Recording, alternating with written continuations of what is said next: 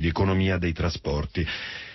Poi, eh, vi avevo promesso ieri, alle 18 ci è arrivato qualche sms quando abbiamo ospitato il presidente di FIPE, Lino Stoppani, dicendo eh, siete vergognosi, date solo spazio alla parte datoriale. No, Oggi in apertura daremo spazio alla parte sindacale, o meglio a due parti sindacali, eh, quella della FIPE, la Federazione Italiana Pubblici Esercizi, che ha deciso di dare una disdetta al contratto, come ieri vi abbiamo raccontato, eh, provocando la protesta dei lavoratori del settore che, che, oggi hanno scioperato, così come hanno scioperato i bancari per un evento analogo. L'ABI, che anche in questo caso ha disdetto il contratto. Eh, parleremo con entrambi i sindacati, quello principale, quello più rappresentativo eh, del, dei bancari e poi eh, quello della CGL per quanto riguarda la FIPE.